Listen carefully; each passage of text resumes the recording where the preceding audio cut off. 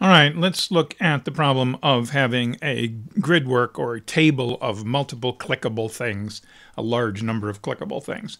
And uh, let's run an exam run the example uh, first, and we'll see what, what I'm trying to do. Um, these are function names for from GTK widget. Um, there is uh, several hundred of them, as you see. I'm rolling down with the scroll bar here, and the idea is that you can put things in here. These I just took this as an arbitrary example. Whatever you put in here, uh, which, I, which is being read in from a file. If you click on it, you'll notice over down the bottom here, void. You selected uh, GTK widget set events, whereas if I did gboolean widget get device you can see that one's selected. So whatever button I, cl I click here, it's, being picked up. Whatever you do with that after you picked it up, that's your problem. But I, I am be able to detect and pop. I'm able to populate the, this grid work, and I'm also able to detect button clicks, okay, which is desirable in some cases. These extra little dashes are part of the GTK system that when you're at the top of something, they disappear, or in this case, at the far right. Uh, they only appear when there's more uh, on that side. Um, there's more on the bottom here is what it's telling me. There's nothing above. There's more on the on the right here. If I'd gone over here, you see uh, the dashes are down there. That's how they do it. It's, it's part of the GTK um, implementation. All right, the glade. The glade is kind of, um, I've, I've, simplified this down to just one small glade thing. It's fairly simple. I've got a window as before. I've got fixed as before. I just dragged it in here. It's the larger thing. I made it bigger than this interior thing um, for aesthetic purposes. The um, by going in here and playing with the uh, width request on the on, G, on GTK fixed. Um, I dragged into GTK fixed a scroll window, and you can see it there, and it has a size also, uh, which is less than the size of GTK fixed of the outer um, container. Okay, into the scroll window, I dragged a viewport. You've got to have a viewport in a scrolled window, or you can't scroll anything. There's nothing to scroll. Inside the viewport, I dragged a grid. Okay, so we have a grid inside the um, inside the viewport, and in the grid, I had some problems with this earlier, in that it kept reverting to different numbers here. I'm not going to fool with it, but I basically say I've got a row count of one. It doesn't matter. I'm going to change it anyway. Um, I only want one column. You can have multiple columns. You can have multiple rows. You can play around with some of it here. But basically, the, it's just a simple grid. It's called grid one. By default, has one row, or it could be zero. It doesn't matter. Um, so I will, you know, set, um, uh, um, I guess I must have been playing with it someplace else. It's found out I've done something else. I don't know what the message was. All right. Um, Get that off the screen. Um, now let's look at the code. All right. Um, in the code here, a lot of this is, is repetitive. Um, we've got the declaration for the window, declaration for the fixed grid, the main fixed grid. We've got a declaration for the grid, grid one, which is going to be the grid within things. Um, I've got an array of pointers called label to type widget, an array of pointers called button to type widget. I've got the code for both putting labels in the grid and putting buttons in the grid. Buttons are more useful, but they're here, the both codes here. Uh, for the viewport, and then there's my builder. Um, the onDestroy function from before, it's the function that will be called when the um, destroy signal is raised for the main window. Um, this is a this is a handler on row, and it receives a pointer to a button. Um, you will see it in a minute. It's at the bottom. It has to be declared up here before it's used. I have a, in the temper in the temporary character string of 1024. I've got the row, which will be the row number I'm playing with. Everything else here is pretty much the same. There's the GTK init. There's the builder, same as before. That's where I pull out the window. I do all my, uh, there's where I connect the destroy signal uh, to the function on destroy. So if a destroy signal is raised, on destroy will be called. I connect all the other signals from the Glade package. From the Glade package. I'll be creating some more signals in a moment. But um, the, and then I, I pull out fixed one, view one, and grid one. Don't really do anything um, with them at this point, but well, I will with grid one further down. But okay, then I read in the um, the file that's that's got the um, that's got the uh, functions in it, the names. Um, let's bring it up here. Functions.txt. It's just a text file. There's uh, tabs in it, by the way, but it's just a text file. Um, it was just some data. Anything you wanted to put in here, assuming it's not completely unreasonable. Um, so I open the uh, the function for input. If it turns out it, it fails, the uh, pointer um, it comes back with a null pointer. I give an error message and exit. Otherwise, I set row to zero, and we're off to the races. This is the loop here, the while loop, where I will um, add the buttons to the grid. All right, read a line in. If you get if it comes back null, it means you're out of input. Close and break, that exits the while. All right, knock off the new line character. Each of these lines has a new line character. This, this knocks it off. It puts a zero or a null where the um, new line character was. All right, um, create a row. This inserts a row into the grid.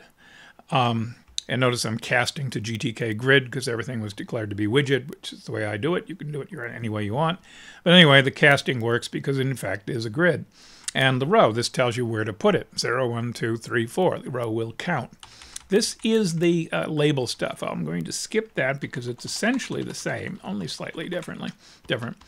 Um, this is for the clickable buttons. It notes here at the beginning that if you want to destroy a button, use the function gtk container remove, and the container is the grid. So if you remove a button from the container, that effectively destroys the button. All right, but I haven't created any. But now I'm creating buttons. Okay, uh, for whatever the value row is, 0, 1, 2, 3, I am going to call the function gtk button new with label. And guess what the label is? Temp, the thing I just read in. So uh, the label is temp, um, eh, whatever that function name is from the file, and it'll create a button, and I'll get a pointer to the button. The pointer will be stored in the array button.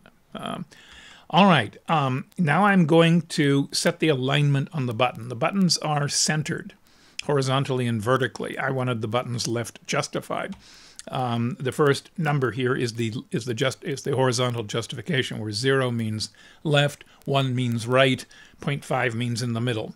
So horizontally to the left, um, vertically in the middle. All right.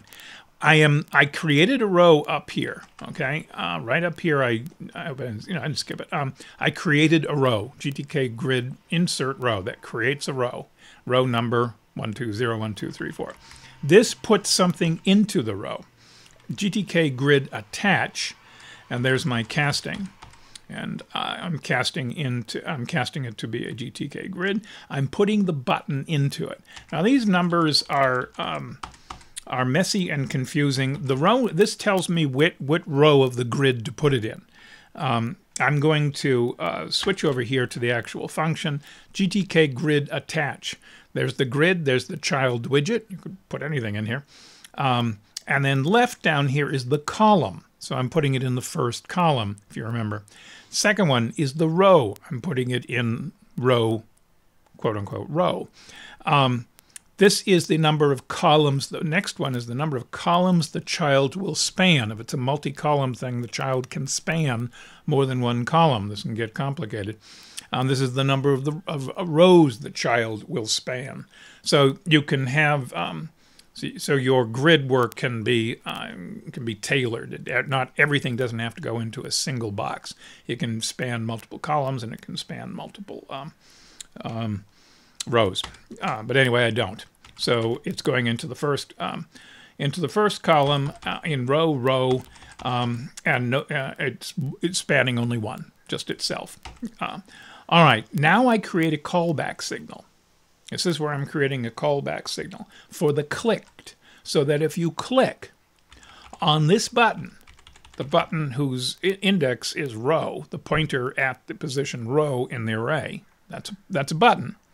If you click on this button, um, it'll raise this signal and it'll call on uh, the function on row. And uh, the null means there's no additional data being passed. I'm not passing anything else. I could put data here to be passed, and there's some other parameters I could possibly pass to this function when the callback is um, is generated. What this means is that every um, is that every row, every button is going to go to the same function.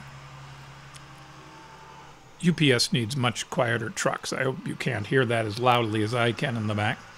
Um, anyway, or a muffler maybe. Any, anyway, the uh, my windows are open. Anyway, the idea is that every button is going to go to one function, one function alone.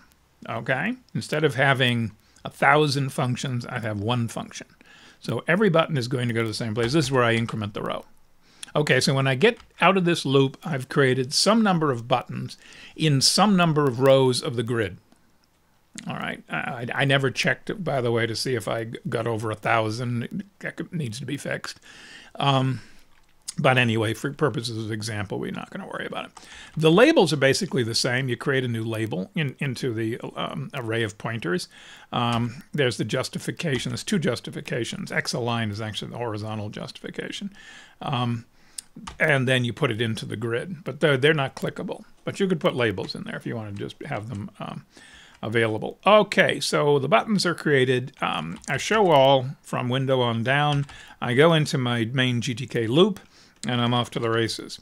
Okay, what happens when you click a button, any button? You could end up here on row GTK button star B, um, pointer B. Okay, there is a function, GTK, how do I know which button was got clicked? Well, it's a function uh, called get label. You pass down the pointer to the button and it returns you what was in the button. Now, in this case, it would be the actual function name, and that's the text that's getting printed out. You could get clever, and if you didn't want to use actual names, you could have like a number or something at the beginning of the label, and uh, you would see that when you did the get label, and then you get a number to convert to. You could put the row number in. I could have added the row number in the in the start of this. Um, would have been easy up here in temp just to uh, uh, to create a row um, to insert the row number at the front of the front of the um, of, of the string that's going to be the label of the button, but which then could be extracted fairly easily down here. But instead of having a thousand callback functions, I've got one. Now, what you do with the information now that you know which button was clicked, it's your problem. Um, it's whatever you're going to do, whatever you intend to do at this point, as long as it doesn't take too much time. Um, but anyway, in, in, which case you've got to do some uh, child forking or something. All right, so there's the on destroy, which is uh, basically just calls GTK main quit. Um, and um, if we didn't screw up the glade, um, um there it is. Um, you can see there's actually a little highlighting when I move over. That's that's default. That's part of the uh, part of the structure. And you've got the, um, and of course, as soon as I click it, you get the message from the back. So uh, if you had, for example, a playlist of a large number of um, music to uh, uh, items of music, um, and you don't know how many. Uh, you could read them in from a file and add them to this uh, this grid work. I'm sure there's upper limits, but they're probably based on the amount of memory you have. Uh, but yeah, you would be able to um, uh, you would be able to um, allocate them and uh, click on them, and then, for example, start a player or something like that if you want. You couldn't start the player and wait for it. You'd have to start the player and detach it. Have the play player running as an asynchronous task. task. Because then how would you know the player was finished? Well, there's ways of doing that.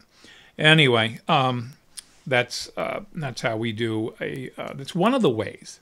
There are other ways. This is one way. One another way would be to simply create a create a fixed number of items here. Create a scroll bar down the side, and as you move the scroll bar, it repopulated the uh, the items. This is actually uh, a little more complicated in some regards, but it is. Um, it is uh, uses less resources. Maybe I'll try that in a later video.